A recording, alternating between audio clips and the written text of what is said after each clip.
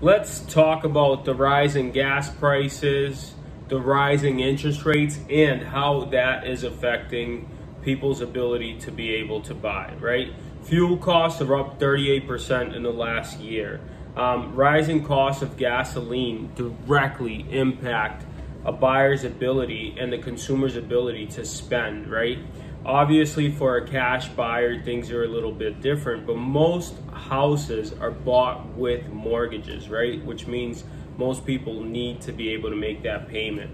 So, that coupled with inflation and coupled with the rising interest rates and the high gasoline costs, you may see housing markets start to slow.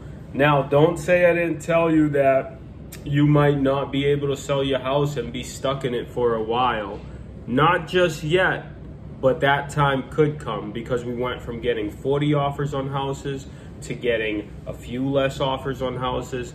And generally speaking, that could slow the market down, right? The housing market is really driven by supply and demand. And if consumers can afford less, that's really going to bring the demand of the medium to the lower end buyers down the higher the higher end buyers might be okay, but you're just talking bigger numbers, and that could slow that market down right with everything else.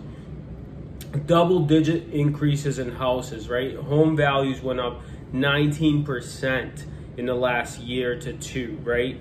Uh, rental market went up 12% in the last year to two.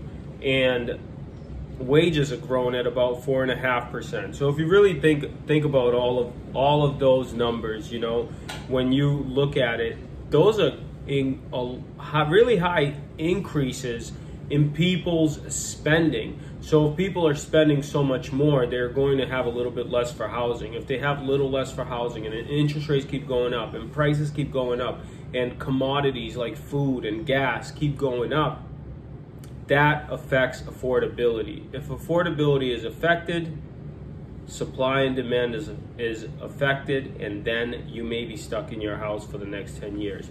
If you're looking to get the value of what your house is worth so you're not stuck, you know who to call. Follow the links below.